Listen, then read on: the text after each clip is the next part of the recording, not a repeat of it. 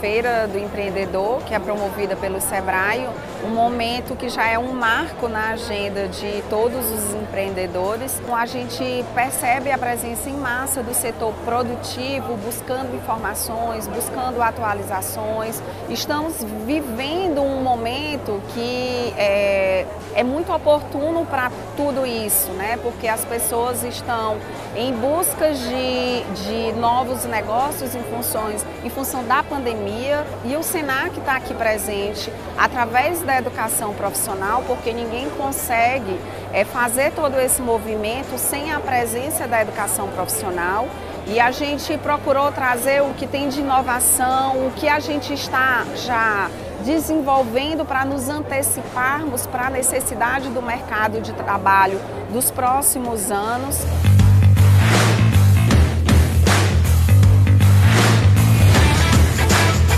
E a gente passou esses quatro dias de feiras do empreendedor explicando sobre o Power BI e como essa ferramenta é poderosa para o mercado de trabalho.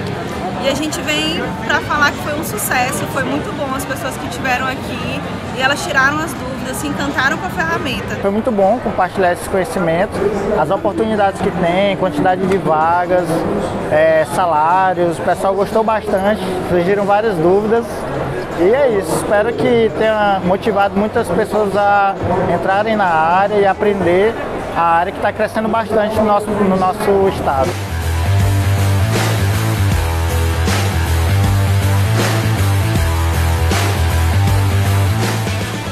Viviane eu vim aqui no estande do Senac para descobrir mais sobre minha coloração, minha paleta de cores, porque eu sou corretora de imóveis isso é muito importante para a minha profissão, né? A minha imagem perante os meus clientes.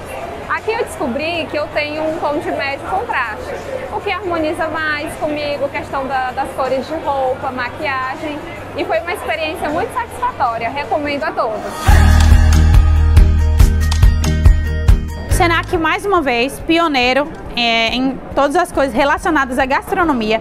Aqui no Piauí, aqui em Teresina, o Senac traz essa ideia para a Feira do Empreendedor, trazendo as consultorias do SENAC à sua disposição. Nós temos chefes incríveis que vão transformar e revolucionar seu negócio, se ele já existe, ou vai conseguir tirar essa ideia do papel e que você vai conseguir ter lucratividade. A gente traz aqui para a Feira do Empreendedor essa cozinha onde as pessoas vão conseguir visitar, vão conseguir visualizar como que funciona o Mandar Kitchen. A gente tem desde a entrada é, funcionando, mostrando como que funciona o BPF, até chegar no final da entrega para o motoboy entregar diretamente na sua casa.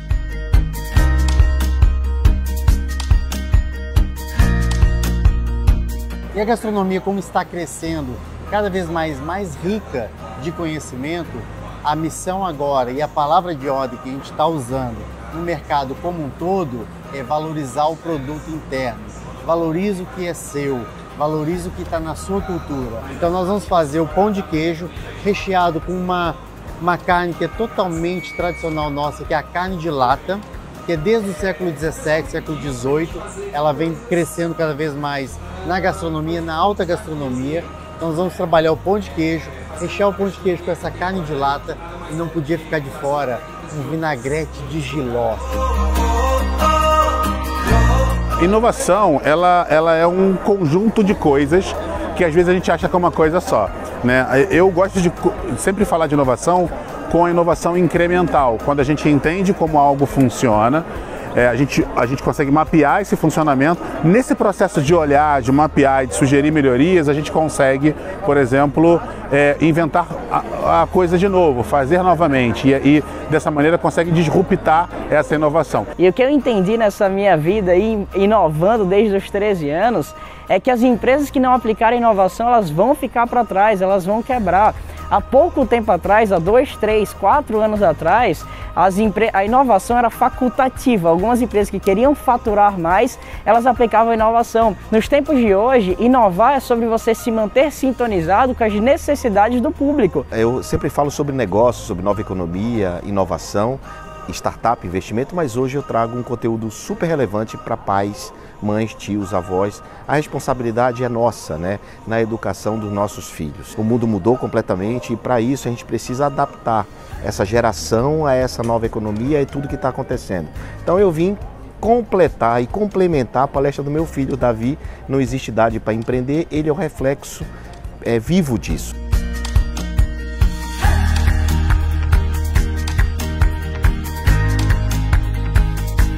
É muito bacana poder estar articulando com o, com o público, articulando com o Sebrae, articulando com outros parceiros que estão no evento, trazendo tudo que há de melhor. Nós estamos com profissionais incríveis aqui na feira e eu acho que esse é o grande diferencial. O Senac, como uma entidade do Sistema AS, responsável pelo comércio e pelo serviço, foi um parceiro de primeira hora. Compartilhou com a gente várias dores, discutimos com o Senac várias ideias.